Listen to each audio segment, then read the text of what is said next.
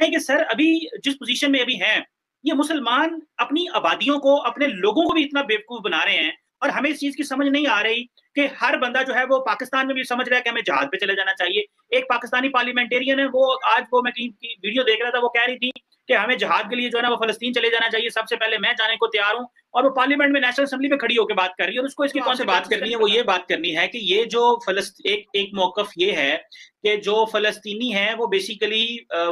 मुसलमान ही रिस्पॉन्सिबल हैं उनकी सफरिंग्स के। और एक मौकफ ये है कि जनाब ये इसराइल है और उसके पीछे मगरब है और वो सारा जो है वो वो फलस्तीनियों को मरवा रहे हैं। लेकिन एक मौकफ जो जो जो आज हम बात करना चाह रहे हैं, वो यही करना चाह रहे हैं कि क्यों मुसलमान जो है, वो फलस्तीन के लिए मुश्किल पैदा कर रहे हैं।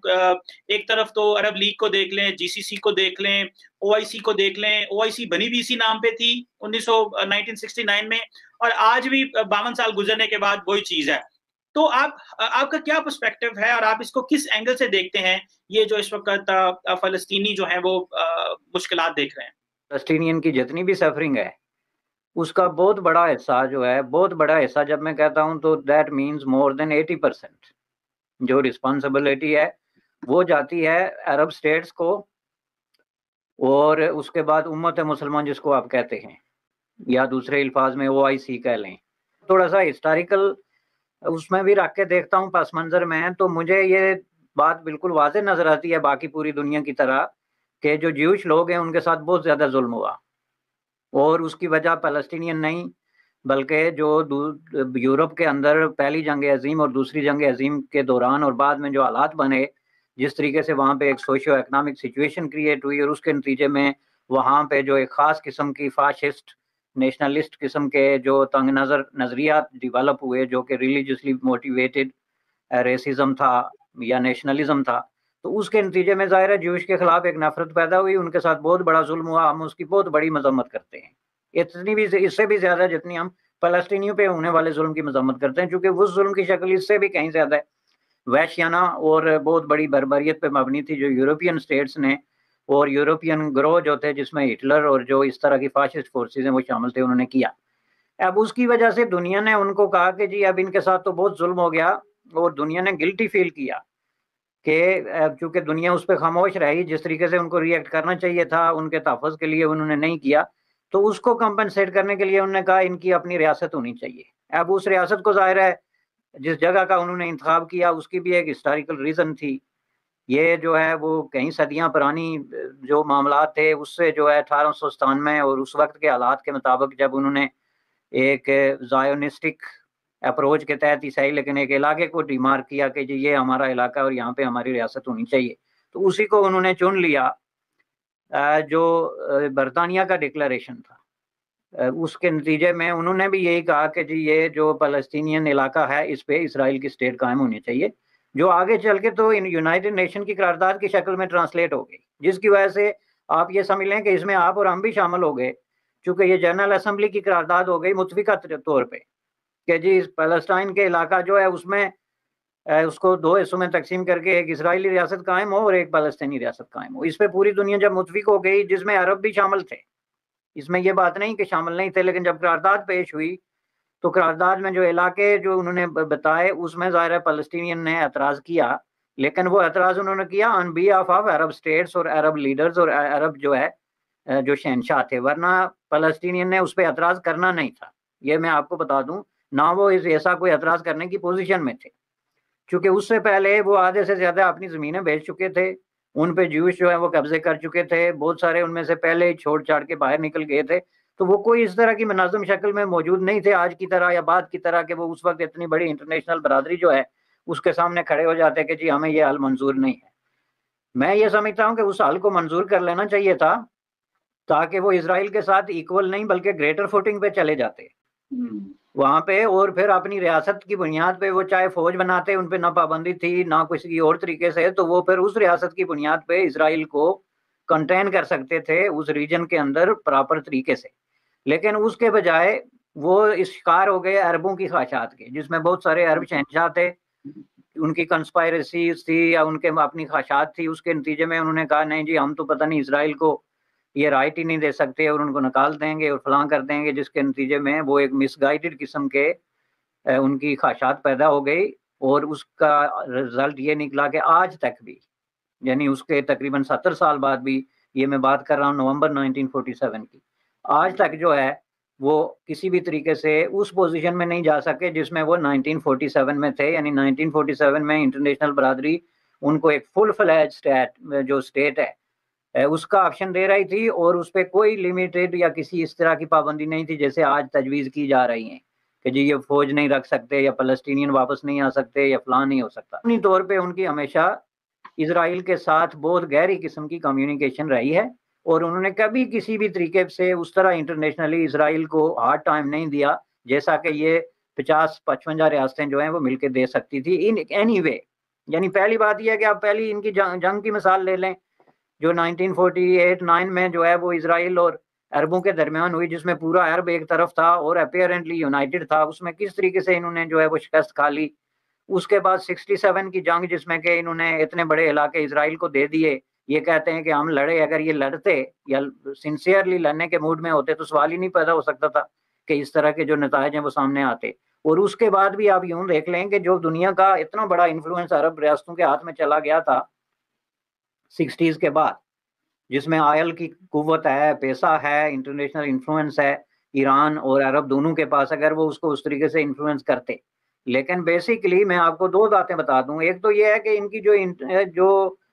डिप्लोमेसी और कम्युनिकेशन रही इसराइल के साथ ज़्यादा रही और फलस्तीनियों के साथ कम रही नंबर एक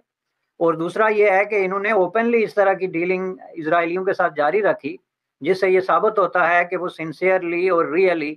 हम्म। ना तो फलस्तीन का मसला हल करने के मूड में थे और ना ही वो अनकंडीशनल सपोर्ट कर रहे थे फलस्तीनियों की बल्कि हम्म। इसके बरक्स वो उनको यूज़ कर रहे थे अपने सियासी मफादात के लिए इसकी सबसे बड़ी मिसाल जो है वो आप ईरान की ले लें, जो अपने आप को रेवोल्यूशनरी भी बना के पेश करता है और आज की ये सारी जो राकेट पॉलिटिक्स है, इसमें भी आगे आगे है तो आप देख लें कि जब ईरान इराक की जंग थी तो खमैनी ने अपने रेवोल्यूशन की पीक पे जो है वो इसराइल के साथ हथियारों की सौदेबाजी की और इराक के खिलाफ जो हथियार इस्तेमाल हुए तकरीबन 400 मिलियन के, वो उन्होंने इसराइल से खरीदे, जिसके बाकायदा जो है वो रैकर्ड्स मौजूद हैं, मुख्तलिफ़ गैर जानबदार कंट्रीज़ में और फिर उन्होंने जितना तेल इस दौरान पहली तीन सालों में बेचा। ईरान, इराक जंग के दौरान ईरान का जितना तेल जाके यूरोपियन वेस्टर्न मार्केट में फरोख्त किया गया, वो इसराइल के थ्रू गया। तो ये इस तरह की मैंने एक मिसाल दी, चूँकि मैं आपको इंडिविजुअली इन सारे मुल्कों की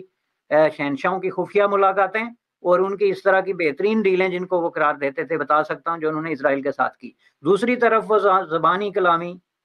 फलस्तीनियन को ये कहते रहे कि हम आपके साथ हैं। और जहाँ जहाँ कहीं भी उनको पनाह दी, उसके नतीजे में हमेशा उनका कॉन्फ्लिक्ट हुआ। यासर अराफात ने जब जाके आखिर में ट्यूनिस से जो है, ये एक छोटा सा टुकड़ा जाके अथॉरिटी के लिए एक्सेप्ट किया था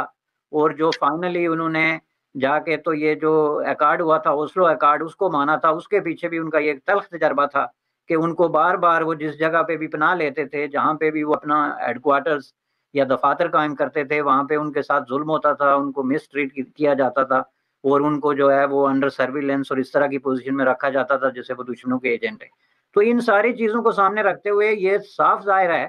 कि ये अरबों का बतौर अरब नेशन फेलियर था और आज भी है। फलस्तीनी कुर्बानी का बकरा है। वो सिर्फ़ उनके लिए भी नहीं, बहुत सारी वेस्टर्न पावर्स के लिए भी जो फॉर सम रीजन इसराइल को डिसलाइक करते हैं, उनके लिए भी वो एक कुर्बानी का बकरा है, जिसको वो किसी वक्त भी जब भी ज़रूरत पड़ती है या मदारी का कबूतर कह लें तो उनको यूज़ करते हैं। इससे ज़्यादा कोई अहमियत फलस्तीनियों की नहीं है। तो बरिस्टर साहब, इसको फिर इंटरनेशनल कम्युनिटी जो है, वो तो उसको पता है कि अरब संसेर नहीं है। अगले दिन मैं किसी से बात कर रहा था तो वो भी यही कह रहा था कि भाई, इंटर वेस्टर्न वर्ल्ड ने मुसलमानों की कैलकुलेशन कर ली हुई है। कि, सर, अभी जिस पोजीशन में अभी हैं, ये मुसलमान अपनी आबादियों को, अपने लोगों को भी इतना बेवकूफ़ बना रहे हैं और हमें इस चीज़ की समझ नहीं आ रही कि हर बंदा जो है वो पाकिस्तान में भी समझ रहा है कि हमें जहाज़ पे चले जाना चाहिए। एक पाकिस्तानी पार्लियामेंटेरियन है, वो आज वो मैं की वीडियो देख रहा था, वो कह रही थी कि हमें जहाज़ के लिए जो है ना वो फलस्तीन चले जाना चाहिए। सबसे पहले मैं जाने को तैयार हूँ और वो पार्लियामेंट में नेशनल असेंबली में खड़ी होकर बात कर रही है और उसको इसके कॉन्सिक्वेंसेस का नहीं पता। देखें जी, ये बड़ी खौफनाक सिचुएशन है। चूँकि असल में बात ये समझी जा रही थी कई सालों पहले कि जब डेमोक्रेसी डेवलप होगी तो उसकी वजह से इन चीज़ों पे काबू पाया जा सकेगा चूँकि ये डिक्टेटरशिप की वजह से सारी कबातें हैं और सारी, लेकिन हमारे यहाँ जो डेमोक्रेसी आई, उसके नतीजे में जो कुछ उभर कर सामने आया वो आपके सामने है। स्पेसिफिकली पाकिस्तान के पॉइंट ऑफ़ व्यू से आप देखें तो पाकिस्तान में जो है वो डेमोक्रेसी ने जो एक डीपली डिसअपॉइंटेड किस्म की सिचुएशन जो है, वो क्रिएट की कि ऐसे लोग आगे आगे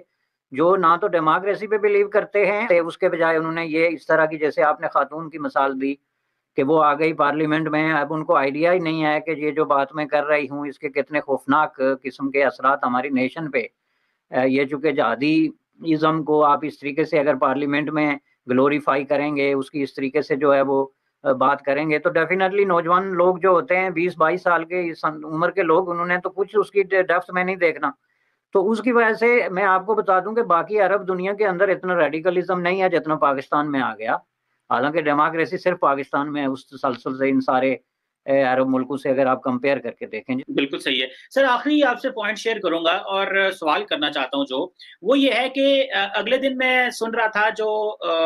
पाकिस्तान की ह्यूमन राइट्स की मिनिस्टर हैं, शीरी मजारी साहबा वो एक जगह पे बात कर रही थी। उन्होंने कहा कि अगर आज हम फलस्तीन के मसले की सपोर्ट छोड़ दें तो हमारा जो कश्मीर का मसला है ना, वो ऑटोमेटिक उसकी हमें जो है वो कमज़ोर हो जाएगा।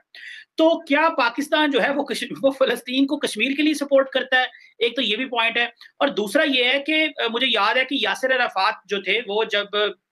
इस्लामाबाद आए जन्म मुशरफ के दौर में तो उन्होंने कहा भाई के जन्म मुशरफ ने उन्हें कहा कि बाहर जाके जो प्रेस कॉन्फ्रेंस करनी है तो आपने जो कश्मीरी हैं, उनकी बात करनी है, उनकी हक खुदरादियत की बात करनी है। तो यासिर अरफात ने कहा कि मैंने बाहर जाके बात नहीं करनी, इंडिया के खिलाफ या इस तरह खुल खिला के। तो जनम मुशरफ जो थे, वो बड़े नाराज़ हुए और वो खामोश हो गए और उसके बाद पाकिस्तान ने एक साइलेंस इख्तियार की फलस्तीन के इशू में और बात करना बंद कर दी हुई थी। लेकिन ये इमरान खान साहब के टेन्योर में आके दोबारा और ये शाह महमूद कुरैशी साहब जो हैं इनको, कश्मीर पे तो इनकी कोई बात सुनता नहीं है और ये जहाज़ पकड़ के जाते कहीं नहीं थे। तो अभी ये जहाज़ पकड़ के तुर्की चले गए हैं, तुर्की से वहाँ यूएन चले गए हैं और बीच में अरबों को उधर ही छोड़ गए हैं, जो स्टेक होल्डर हैं। तो हम